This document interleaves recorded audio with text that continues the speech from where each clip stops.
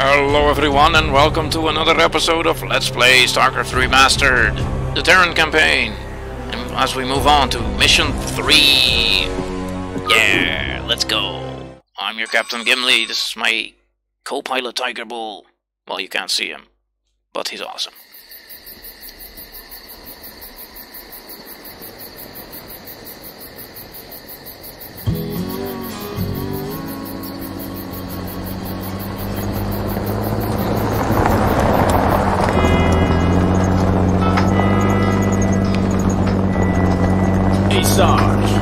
Why we always gotta listen to this shit for anyway?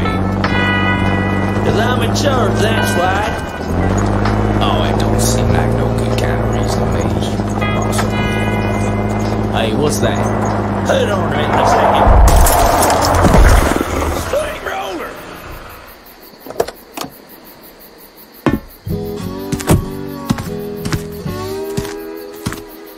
Looks like you mashed some poor feller's dog, Sarge. It's a Zergling, Lester. Smaller type of Zerg. But he can be out this far unless... Oh, shit.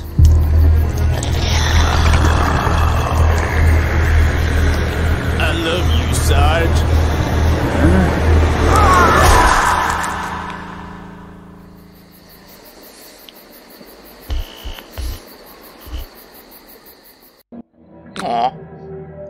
At least we learn now what the Zerg shotgun and you singer says. And where that line came from. Incoming transmission. Sweet Comlink Rover. I got your message, Magistrate. And frankly, I don't care what you have to say about Confederate regulations. You damn fringe world yokels are all alike. Don't know where your loyalties lie. Y'all have a real good day now, you hear? Transmission ended. The report you requested is ready.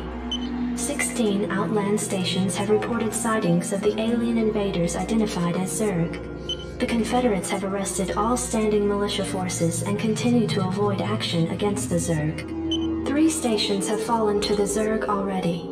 We've been unable to locate any source of military relief except the extremist faction known as the Sons of Korhal. Their liaison is holding online. Good day, Magistrate. My name is Arcturus Mengsk, and I represent the Sons of Korhal. You're familiar with the Confederate propaganda surrounding my group, but your reputation suggests you'll see past it.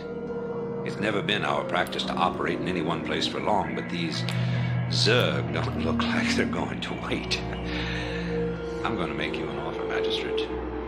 I'd like to help you out by sending down a number of transports to your colony and evacuating any survivors. You know, of course, that my organization operates outside the bounds of Confederate law.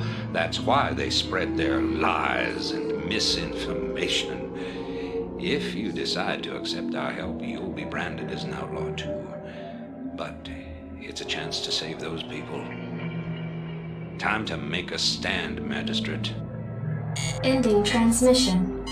Priority alert. Evacuation zone under attack by Zerg forces.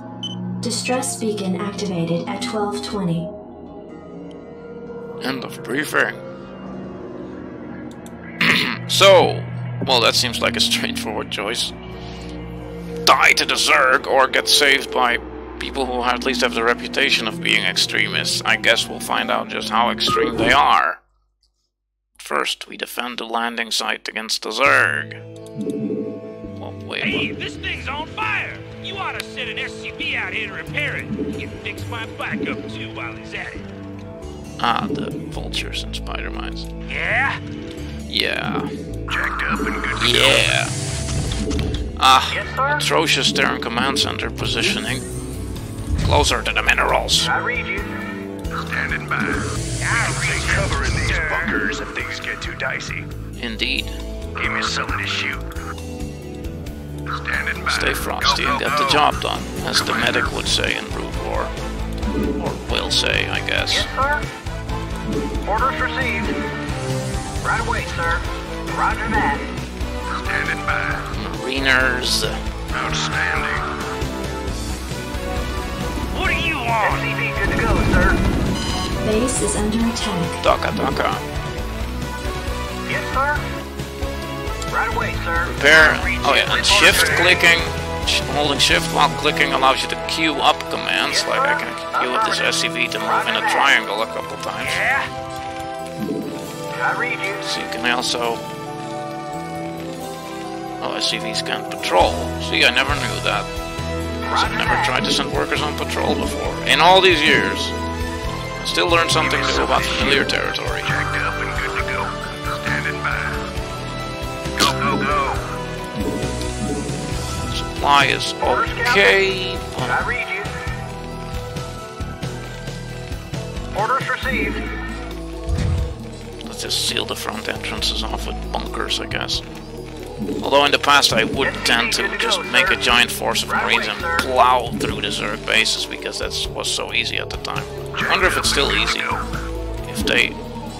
Like I'm wondering did they also update the AI because in some missions that I played through on later playthroughs I had the feeling the AI was much more aggressive than I remember. What are you on? Job's finished. And, you know, the AI was never that challenging to begin with so I guess that's just interesting. Commander. What are you on? Scout, Yeah, scout, going. scout around. Oh, is that it? Mining the future in District 7 on Mar Sara. Zerg! Yeah, I'm going. I dig. Well, we can do the same uh, No problem. I Micro. Oh, hey, is did that I it? hotkey my command center? Reporting for duty. That's harvesting some sir. gas. Overworld, Tracy's to go, Oh wow, they even made some suits of armor in the shop window. Oh, so that's what those are. I never recognized those as being marine suits of armor in the pixelated old version. SCV good to go, sir. Not mine at Tracy's. Yes, sir. Orders, Captain. Job's finished. Orders received. Marine range is ready. Yes, sir. SCV Orders Yes. received. Roger that.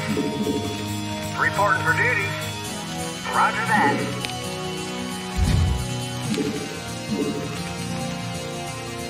SCV good to go, sir. I read you. Right away, sir. Now in Brood War, once you get access to medics, Stimpack becomes one of the mo- like the most important upgrade you can get for your Terran infantry, especially in Terran versus Zerg. You. Stimmed Marines uh-huh. with medics for backup are really good against the Zerg. Captain. Roger that. Not so used against the Protoss because the Protoss have easier access to area of effect damage or splash damage and we just murder Marines by the dozens Forces are under easily. Let's. Pretty SCV good to detailed. That's pretty great. Commander. Standing by. Well, the high ground advantage is actually real. Reporting for duty. Um, let's build some uh, barracks. Train some SCVs. I read you. Making supply depots.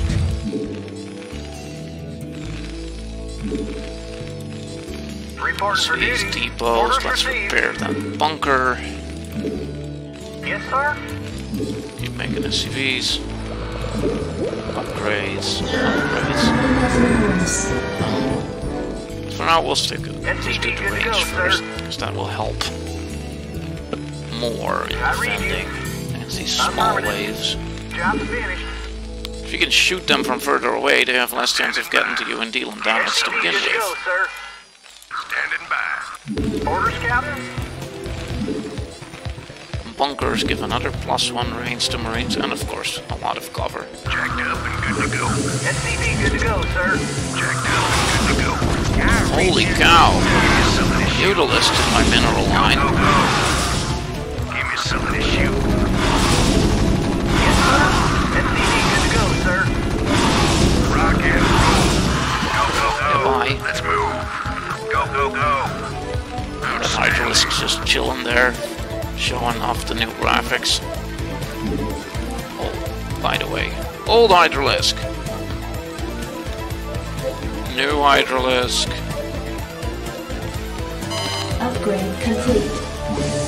Standing by. Go, go, With go. Marines who are low on health in bunkers, Yes, sir.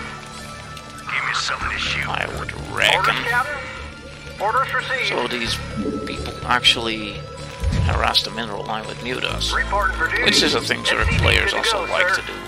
To for force the. Terran to stay in their base Commander, go, go, for much longer or split their forces, which means there's less forces available for the Terran to directly attack the Zerg, while the Zerg builds up a giant Sir, economy. Right away, sir. Zerg players like to do Roger that. that. Build lots of drones, which are their basic work, the equivalent of SCVs. Build up a large economy and then build an overwhelming force. But Zerg economy is a bit unique, as we shall see later. So they build all units from the same structure, and if- depending on what tech structures you have, you can make more units. All from the larva. Hatchery. Zerg build all units from the hatcheries which generate larva, and larva can be morphed into all of the Zerg units. So you have a choice with every larva. Do you make a drone that is a worker that gets you more money, or a military unit? So while you're building up your economy as a Zerg player, you want to build as few military units as possible. Let's see if that works. QA.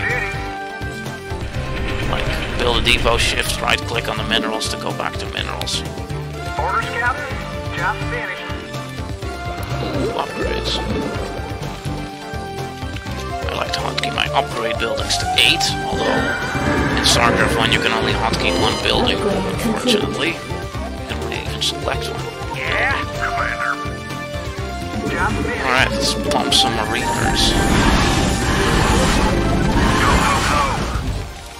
I think we can support another barracks. Right away, sir. I read you. Hmm, but that might work. Right away, Alright, let's see. Shift, right click on the minerals, see if that works. You can also either do R left click or just right click to set building rally points. Which means finished units will go to the rally point. Give me something to shoot. See, Outstanding. they're just mirrored versions of each other.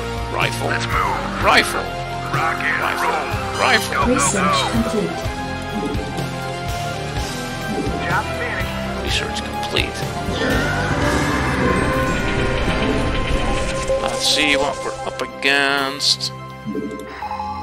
Creep colony, which can be morphed into an anti-ground or anti-air defensive structure, and it spreads well. The creep, the car- organic carpet on which all Zerg buildings are placed. Really, a Zerg colony is just effectively one giant organism connected by this purple goop or carpet called the creep. Which I think is pretty cool. And the advanced Zerg structures give access to the collective Zerg hive mind knowledge, which allows you to bring that knowledge down into your present Zerg colony and then make more advanced Zerg units. Because you can access more of the advanced collective knowledge of the Zerg mind, hive mind, which I think is also a pretty cool concept. And by the way, all this can be read in the original StarCraft manual, which you can probably find with a brief internet search. And it's totally worth reading because the backstory is really cool. Base is under attack. Bomb Marines, Orders, Captain. let's send some SCVs over there to repair. Hmm. That bunker may not be so Reporting for perfectly placed. This will give more want a piece of mutual me, fire boy? support. Go, go, go. Give me something to shoot. Let's uh, gank that Hydralisk. Job Tank with vultures. Alright, vultures do okay damage. Hydralisk are medium units as I recall, which means vultures. Uh, never mind. Piece of me, boy. Oh, and units shooting up onto high ground, like these marines are on the high ground, have I think only a 50% chance to hit. At least a much significantly lower chance to hit, so fighting from high ground is Give me something to advantageous, as Obi-Wan Kenobi will. Go, tell go, you. go. Orders, You've seen Star Wars Episode 3. Although it's not, uh... It helps, it sure helps. But it's not, maybe not as decisive a factor as in the Anakin versus Obi-Wan battle. Affirmative. I read you, sir. Now, you know what, let's also build a factory. Make some vultures. Keep pumping units. Job finished. Hotkey those barracks. Five, six, seven. You want a piece of me, boy? Orders, Captain? Roger that. barracks. Right away, sir. Somehow my own Yes, supply is still good. But since I'm thinking about it now, Roger that. You want piece of me, not? Ah, now it's too late. Once it starts constructing, you can't issue it commands anymore, unlike StarCraft 2, where you can. And then when you right click, say on these minerals, you see a little dotted green line going there to indicate it's queued to go there after. You know, StarCraft 2 had many quality of life changes like that. Although part of the challenge of playing StarCraft 1 is managing the somewhat clunky interface, which makes your attention focus and your clicks all the more valuable. Commander. Something on your mind? Good to Oh, go. that's Let's going move. pretty well. Your forces are under attack. Under attack. But machine shop, which research both enables more Terran vehicles later. Well, it enables you, it gives you access to the siege tank, and it gives vehicle upgrades. Or rather, researches special vehicle abilities, Go, go. like the Vulture's What do you mines. Vulture spider mines. Something on your mind? You want a Research of at me, machine shop. The siege tank siege mode. Add-on The complete. siege tank in siege mode is so lethal. It turns from a, well, a tank with a paltry little pew pew gun into a lethal piece of big bada boom hardware that shoots like a screen away. Huge, terrible damage. Orders, Captain? Roger that. Ooh, see now it's burning down. Until the SCV comes to repair it. Damage 20. Which is explosive damage, mind you, which means it will only deal 50% damage to units that count as small, such as the Zerg Mutalisk. And 75% damage to medium units. I think medium air units are rare to non-existent. Oddly enough, the Terran Wraith counts as large, even though it's you know, a fairly small fighter plane, but eh. It's been decided. For game balance purposes, I guess. Right away, sir. Ten minutes until dropship arrival. That gives us 10 minutes to wipe the Zerg colony off the face of the Earth. Jacked up and good to go. Let's do another round of constructing Marines and get out of here. Right away, sir. Affirmative. I read you, sir. You want a piece of me, boy? You want a piece of me, boy? Rock and roll. All right, bring it on. Job finished. Then give them barracks. Commander, Rally point yet, I see. give me some to shoot. You want a piece of me, boy? Vultures are on. Put I these read you, sir. Another quality of life improvement of StarCraft 2, you could select many, many more units than the maximum of Something on your 12 here. 83 out of 106. Report for duty. Build another Right depot. Alright, SCV. Let's see if this works. Shift right click minerals. Yes, sir. You want a piece of me, boy? Orders You want a piece of me, boy? Roger that. What do you want? Standing by. Commander. You want a piece of me, boy? You want a piece of me, boy? The very key ingredient to playing StarCraft is to just build more stuff. Jacked up and good to And go. for building more stuff, you need to have more money, resources. You want a piece of me, boy? Uh, You want a piece of me, boy? Yeah, that does look more shiny. All right, bring it on. And that's why we're Your building, we're constantly attack. building workers is so important. Give me something to shoot. Because it allows you to build more stuff. want a piece of me, boy? Well, more workers give more resources, more resources give you the money to build more stuff. So you need more, many more production structures to actually spend your money. If your opponent spends his money faster and you and gets more stuff, then they like of me, boy? Although that's more multiplayer theory than anything. Okay, Standing by. let's move out. Let's move. Rock and roll. Zero managed to kill the Zerg base of the dawdling in my base for two Bring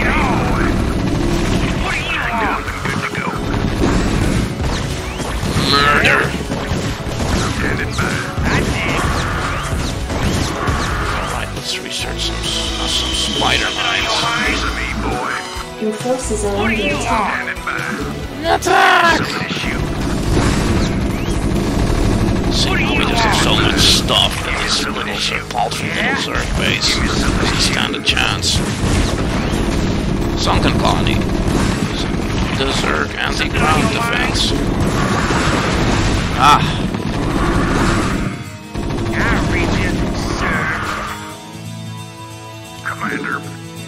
we had some siege tanks that would have been great because then we could have taken these columns out from a distance. Standing by. Checked up and good to go. Something on your mind? Of course, we don't certainly need to take on the Zerg base, but you know, what else? are we gonna Sit on our ass and do nothing, waiting for the dropships. Story-wise, that would have made more sense. Gameplay-wise, though, it's not as interesting. Rock and roll. Alright, let's move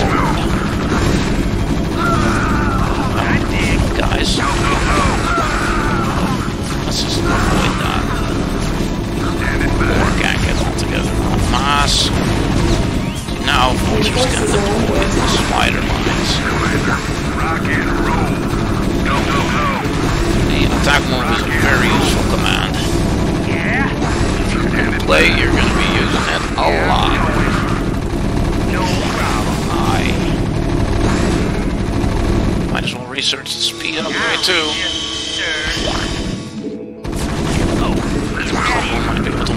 To murder this Zerg base Your after forces all. are under attack. Eradicate. Uh, obliterate. Oh wait, that's the Archon. Protoss unit. Move. Rock and roll. Go, go, go. And You want a What piece do of you me, want? boy? Standing by. Give me something to shoot. yeah, let's leave the Protoss for later. For now, we're still in the Terrans and the Zerg. Go, go, go. Well, that's about it. Most Your forces are Zerg under base aside attack. from some free colonies wiped out. Something on your mind? Oh, Checked up is that good to go. Commander. Standing by. Overlords, which give Zerg supply and detection. And they can be Your upgraded to also be able to transport Zerg read units. sir. Yeah, I'm going. Flip. Checked up and good to go. Go, go, go. See, these units are a bit derpy. If you leave them, they'll just stand here getting clumped up here and get stuck. And on your mind? well, only the front few units can fire, and yeah, it's just an inefficient mess. What are you on? Standing by. Checked up and good to go. Give me something to shoot. Outstanding. Something on your mind? Well, that does it for. Your forces are under attack. Up and good to go.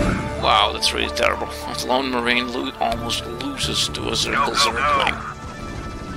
I'm not sure if these Zerglings have upgrades, because if the Zergling is also unupgraded... Ah, didn't quite see it.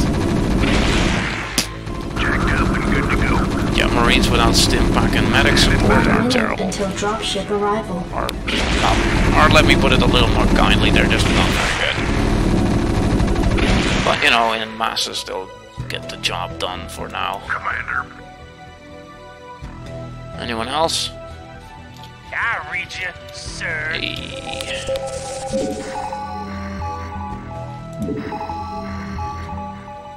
Any burrow little Zerg.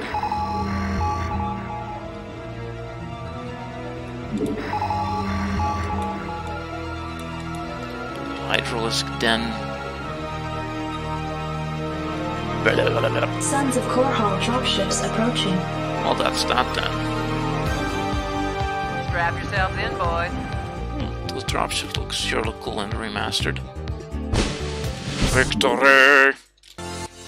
So we evacuated and got our and our hero Jim Raynor has gotten himself involved with the Sons of Korhal as he defended his people against the ravenous Zerg swarm of the Garm brood. The Garm brood of the Zerg, which is then a part of the larger Zerg swarm, because the Zerg swarm is divided into well broods. But we'll learn more, much more about the Zerg in the Zerg campaign, which is after the Terran campaign. Alright.